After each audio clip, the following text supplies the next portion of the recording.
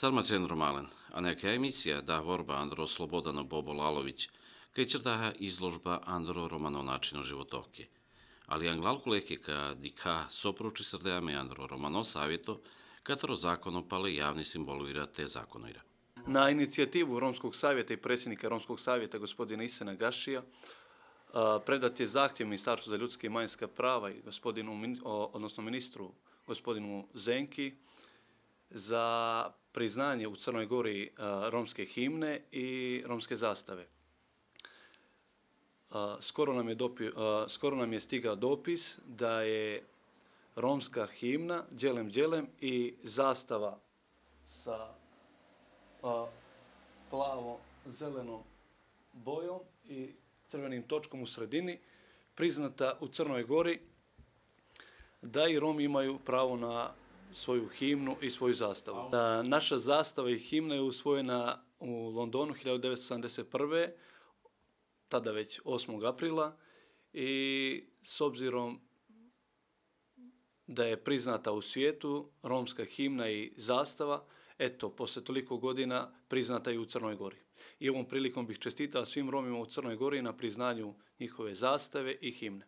S obzirom da da već sljedeće godine dolazi popis stanovništva i tekako apelujem na naše sunarodnike na Rome da ne kriju svoj identitet, da priznaju da su Romi jer i tekako nam znači što veći broj Roma za dalji napredak i integraciju kroz društvo. Ono što je najbitnije sad u ovom momentu s obzirom da se desila promjena vlasti jeste da nemaju nikakve potrebe za strah da iskažu svoj identitet.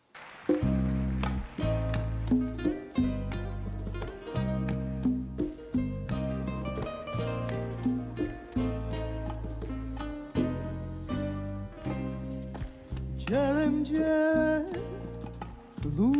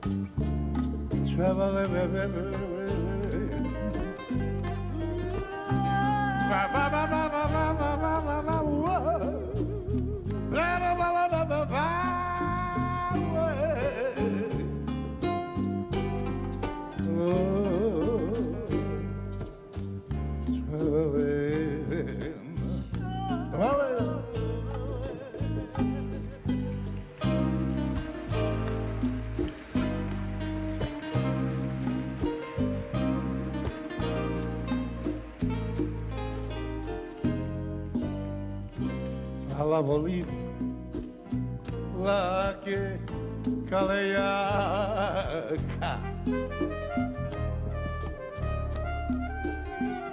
Kaj si gudle ve ve ve ve ve sartu ih kale draga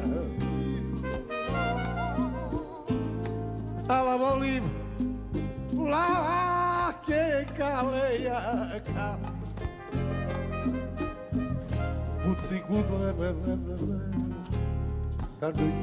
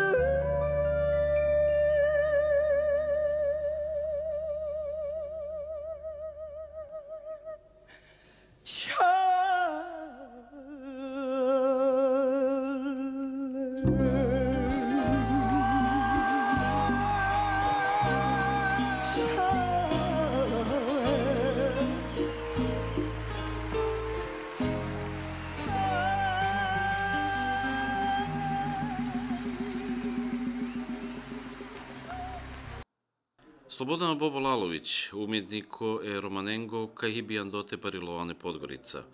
Vovčer da izložba kaj se ame zanimljivo andaro romano načino i životoki.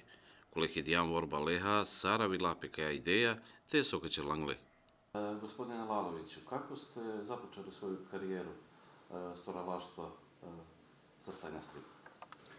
Pa, iskreno rečeno, ne smatram to nekom karijerom. Desilo se to kad sam možda imao 5 godina, kad sam bio dijete, ovaj, dječak, moj rođak koji je stariji od mene, ovaj, mislim da je on 62. godište, što je možda je nebitno za ovu priču, znači on mi je donio gomilu nekih crtanih romana koji su se tako u to vrijeme zvali, u stvari to su slipovi bili. I to se mene zaista sviđalo. Evo, stara sam, sjećam se da je prvi bio Zagora, neki strip koji je bio na Silje se od dozvolanje, bio veoma popularan i skup strip kasnije ali ja ne znam uopšte što se sa njim desilo. I počeo sam da crtam i moj tata je otišao, mislim, jednog dana kad je to vidio, što se ja crtam sve što mi je došlo pod ruku. I donio mi je za posla one papire za mašinu za kucanje, kompjuterske papire i kad sam ja crtao, crtao, on je samo jednog dana pogledao i rekao, vidi ovo što nije loše i onda sam tako nastavio i kad sam već bio učenik kroz osnovnu školu, malo sam to izbiljnije ja radio, mislim, moje mišljenje da se radi uzbiljnije, mišljenje kulturnih poslanika je bilo da su to apsolutno nebitne stvari, ne smatrajući strip za umjetnost, nego za žutu štampu, mislim jednostavno da možda nije loše i naglasiti da je u SFRJ 1968. strip jednostavno nekim diskriminatorskim zakonom stavljen van zakona i da je se dešavalo čak i da stripove ljudi spaljuju, tako da je bilo baš teško nešto u tom smjeru raditi, jer tada su ljudi i establishment, da tako kažem, smatrali da je to štetno za našu omladinu i tako dalje, jer nije bilo možda i na putu revoluciji, Bog zna čega još, ali eto, ja sam nastavio i već sam u šestom razredu imao svog prvog junaka koji je živio na divljem zapadu, bio je dobar i loš, Mislim, i tada se već znao da nisu svi ljudi ni loši ni dobri, već da postoji nešto, neka kohabitacija tih osobina u našoj ličnosti.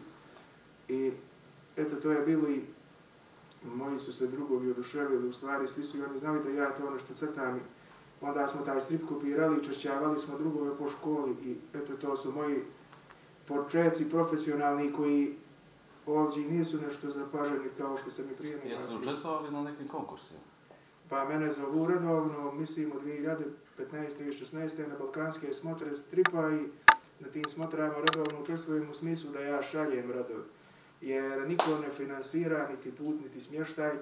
Nagrade su od 250, 300 do 500 eura i mislim da je to ipak neki napredaka u smislu da se nešto radi po tom pitanju. Opet to je ništa jer vi ne možete da godinu dana za 500 eura, 300 da kupite olovke i papire, kamo li što nešto da ovaj, pokrenete u smislu stripa i umjetnosti uopšte. Ovaj. Međutim, u zadnjem opusu vašeg starovlaštva se nalazi jedna neobična tema, to je tema romske populacije koja je i nas zainteresovala. Možete nam reći kako se došli na tu ideju? Ideja je postojala kod mene da možda uradim neki strip kao gdje bi bili Romi koji se kreću kroz razne mjesta i zašto ne i državi neke njihove avanture, a nekako mi je to djelovalo kao kliše i bio sam praktično odustao toga dok nije David Sejdović predložio da napravimo projekat, taj projekat se je zvao Stare romske priče na novi način u sklopu tog projekta je trebalo da bude nekih 30 crteža na temu e, Roma i njihovog života i to smo uradili, ali iz razloga nerazumijevanja donatora za taj projekat, kao što ih prije kažem, evo, ponavljam se da nisu smatrali ozbiljno nešto gdje bi strip bio uključen. I to je problem koji dalje egzistira ovdje što se tiče umjetnosti, znači u Francuskoj, Holandiji imamo i muzeje stripa, imaju smjerovi za strip na akademijama likovnih umjetnosti, a ovdje je to i dalje nešto kao underground umjetnost, nešto kao grafiti, tako mislim da imaju takav stav ljudi. No, u pogledu, u pogledu ove e, comic book arta, comic book tipu umjetnosti, ovaj, e, što se tiče Roma, ja sam bio u prilici da se sa njima družim i profesionalno i privatno. Evo sad sam se izrazio malo politički, mislim, profesionalno krajem 80-ih, početkom 90-ih, kad je srušen jedan sistem vrijednosti i svega i kad nije bilo praktično sredstava za život, moj otac je bio i ja zajedno s njim kao dječak u prilici da moramo da idemo da se snalazimo i da prodajemo na pjaci. Kad smo imali para za tezgu razne stvari koje i također i Romi prodaju najviše, a oko pjace kad nismo imali para za tezgu. I ovaj, mada direktor tadašnje pjace, izuzetan čovjek, je dozvoljavao da iza čak i nekih i tri i više mjeseci čeka dok bi mi zaradili da tu tezgu platimo, ali na kraju se desilo da smo na ulicu ostali i tu su bili normalno Romi i mene je karakteristika ličnosti, kaže jedna stara poslovica, pametan se uči na tuđe greške, budala na svoje, ja sam budala. E, po toj poslovici, a opet smatram ljude koji su tu poslovicu napravili budalama, jer kako vi možete da se učite na tuđim greškama ako niste bili u situaciji životnoj koja je apsolutno slična i poklapa se sa tome i tim primjerom na kojem bi trebalo da se učimo. Tako da mislim, e, želio sam da se učim ja na svoje greške i to što su pričavaju o Romima, nazivajući ih ciganima i svakakvim ostalim imenima i opisujući ih kao neke loše ljude i Bog zna čemu sklone, ja to nisam htio da vjerujem i htio sam ja to malo sam da vidim, jer već kad sam tu sa ljudima koji eto rade sa mnom i koji su oko mene, glupo bi bilo da ne pričam i da ne stupim u neku interakciju sa njima. I onda sam u stvari shvatio da ovdje ljudi, sad ću da malo budem možda politički nekorektan, E, rečeno tim jezikom, da ljudi su se ovdje izborili za, protiv fašizma za slobodu, a da e, jedan određen dio građana uopšte ne zna što je fašizam. Da određen dio građana i Jugoslavije i Balkana živi fašizam, baštini fašizam u sebi, a da nisu toga ni svjesni. Jer što je nego fašizam ako ja smatram Roma, ciganina, šiptara, kao znači pričam i što sam ja u djetinstvu slušao, ne od roditelja, nego baš od okoline većinom.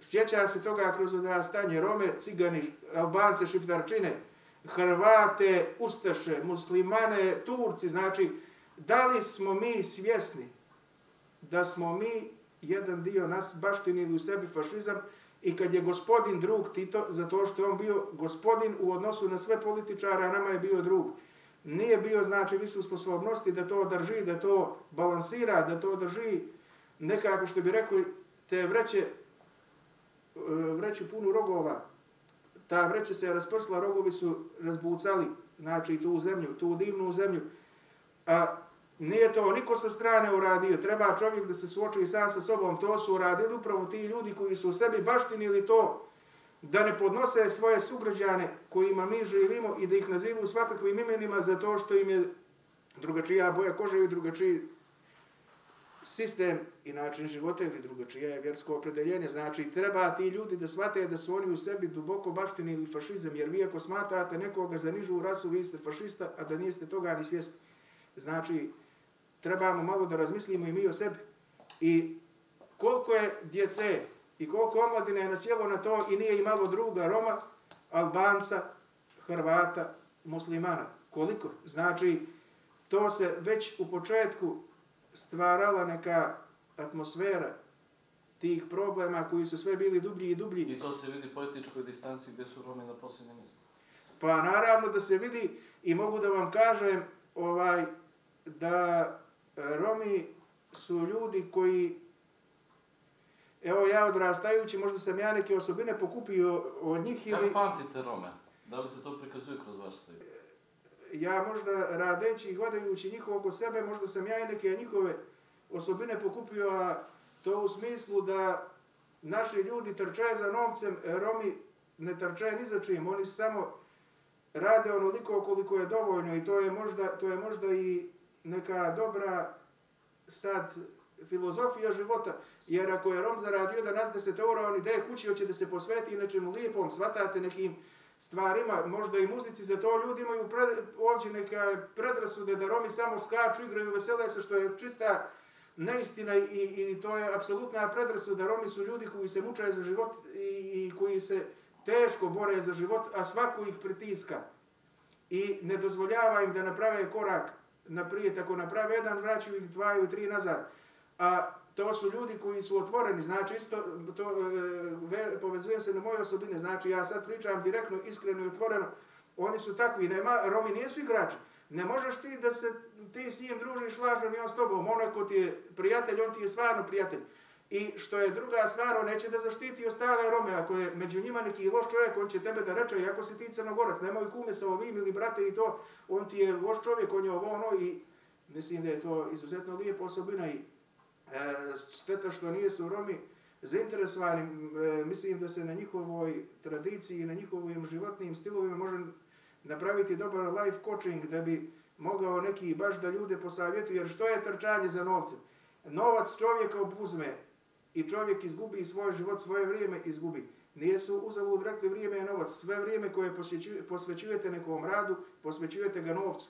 A to nije vaše vrijeme jer ja sam crnogorac, ja ne volim da radim. Znači, e, rijetko ja vjerujem da postoji neki čovjek koji je potpuno normalan da uživa, da radi po čitav dan. To je, to je nemoguće. E, iskreno da vam kažem. I, I ovaj, ne shvatam ljude, ajde, ako radiš po čitav dan pa primaš 7.000 eura kao dolara, pa te razumijemo, ali radi, brate, 10 godina pa odmori.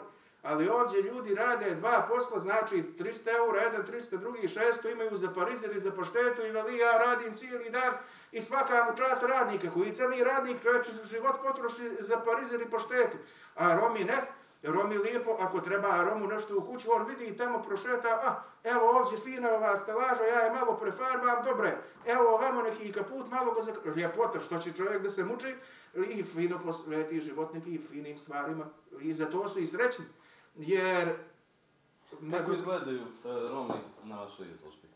Onako, on, on, onako kakvi, kakvi se ih ja zapamtio i on, e, njihove, njihove stare zanate kojim su se bavili kao kovači, kazanđije, kao pa i popravljanje kišobrana i čistači cipela, bio čovjek u centru grada Kovrodilo Crne Gore, sjećam se čovjeka, bio je pravi gospodin i svi su ljudi koji su bili nešto iznačili, dolazili kod njega ujutro da malo porazgovaraju i da cipele, da cipele znači on malo sredi više na čašicu razgovora nego stvarno zbog tih cipela, što su bili pa gospoda ljudi uredni, nije potrebno bilo toliko da, pa je bio Fejzo koji je kazane pravio, sjećam se njega, vas da je dolazio, pa je bilo ih puno tih što su popravljali kišobrane, e, potkivali konje, kovači i ostale stvari što su pravili, mogli ste da naoštrite makaze, mogli ste, nema više ništa, nema, bile su i gatare čak, ali nema više ništa, ništa više nema od toga, vrijeme je pregazilo sve, ne žive više ni crnogorci, jednako kao prijetni muslimani, ni albanci, pa tako ni romi, ali da vam iskreno kažem, e, nekad razmišljam, e, gledajući kroz ove međunarodne projekte gdje se nudi inkluzija Roma, Mene to djeluje kao inkluzija koja se desila s američkim indijancima, da ljude jednostavno neće sklonite, neka i oni tamo, neka oni tamo nešto rade, ali nemojte vi da su oni s nama. Eto, I kakva je to inkluzija? Asimilacija. To, pa to nije, pa da, vjerovatno to nije, neko, to nije pravo rešavanje, jer ako imaju ljudi način života, da oni idu s karavanima, da idu od grada do grada, od zemlje do zemlje, pa zar je to divno, zar nije lijepo takve ljudi imati? Evo idu bajkeri, Bajkeri obilaze čita svijet i to je u redu, a sad da se pojave Romi sa karavanom, rekao bi što će ovi cigani. To nije. I, i sad što se tiče... Je, a što se sad tiče riječi cigani. Svako može biti ciganin, ali ne može svako biti Rom. Znači, riječ ciganin ne znači da si ti Rom. Riječ ciganin znači da si ti aljkav, skitalica, sklon svakakvim, da si kontravezni biznismen. Znači, to bi se moglo nekako u tom smislu opisati. Znači, svako može ciganin da bude, a Rom ne može. I to je, to je ipak nešto što sam ja naučio i, i mislim da bi ljudi trebali malo sa Romima naši da se druže. Ja imam prijatelje Rome, kad ste pomenuli izložbu, moj drug i prijatelji Dado, Ado, Adžović, ja ga Dado zove.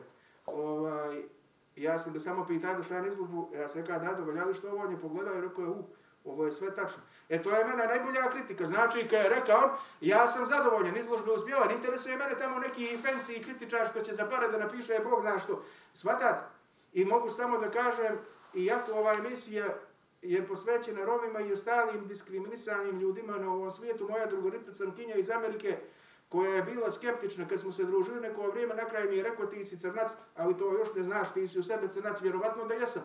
I, i da ja sam nešto doživljavajući i teške uslove od jednom lom društva, a, sve to što se je desilo na mene ostavilo da ja imam razumijevanja za ljude i mogu da vam kažem e, da budem direktan do kraja, da su neki moji drugovi iz škole, kvazi drugovi, sjećam se prodavajući ja na pjacu da su počinjali mene da lošije posmatraju, s obzirom da se ja tu bio s nešto s tijama ciganima i, i sa, po, sa ocom pokojnima. druga stvar, dešavao se da neki od njih pričaju da moj otac to krade, to što prodajemo, znači vjerovatno krade, čim ciganima proderi, cigani kradu, znači logično je, matematika je jasna, dva put ništa jednako je ništa, jer to je sve ništa što su oni pričali. Samo znači, e, obilježen si bez ikakvog razloga. A to oni nisu izmislili, to su oni u kuće čuli. Znači, to je to što mi trebamo djecu da učimo da smo mi svi ljudi. Boja kože je boja kose je bojao očiju, to su, to su stvari koje mi nismo izabrali. Niti sam ja birao da budem crnogorac, niti ste vi birali da budete rom. Ja sam izabrao samo da budem sportista, kad sam bio mlađi i umjetnik, vi ste izabrali da budete TV voditelj. I to je ono, ono što mi možemo da utičemo, mi ne možemo sebe da promijenimo. Ovo što smo, mislim, svoj fizički izgled, to je nemoguće da se promijeni.